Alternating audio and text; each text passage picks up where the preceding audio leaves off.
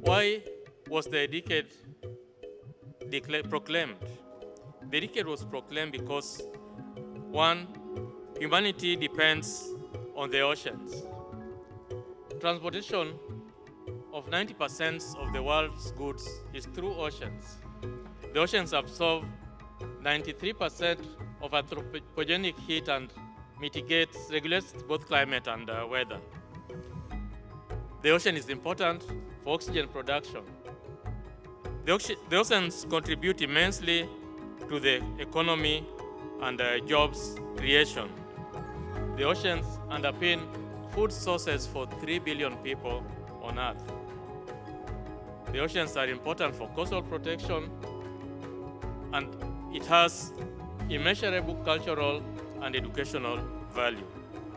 But the ocean is under threat from climate change, from destruction of habitats and ecosystems, from pollution, including plastics and many others, from overfishing, and from new and emerging threats. This is the reason why the decade was proclaimed so as to address these challenges and increase the benefits of mankind from oceans. If you look at another aspect, we believe that there are more than 1 million species that have not been identified in the oceans. Less than 25% of the ocean has been mapped to high resolution.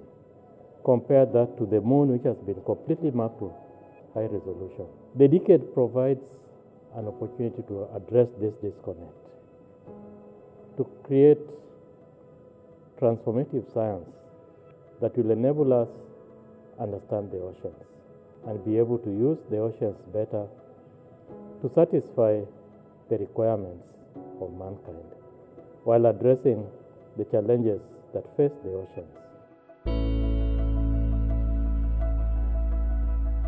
The roadmap was prepared by IOC of UNESCO and WIOMSA to provide a framework for implementing actions during the decade in the region.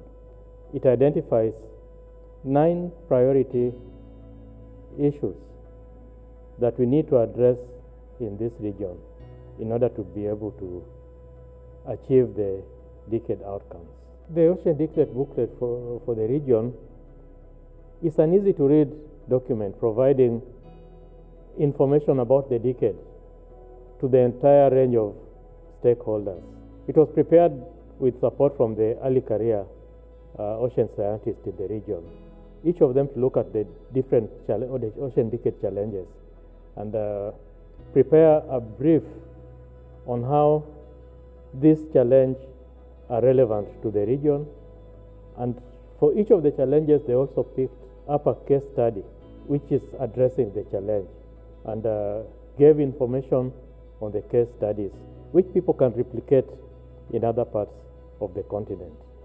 It really is good reference material that will be useful not just to the youth and students, but also to the entire range of people who are interested in the ocean space in our region.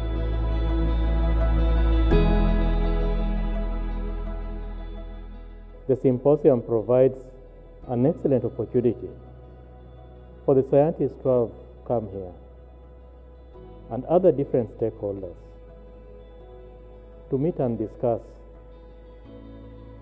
how to build on the science that they have been generating in recent years.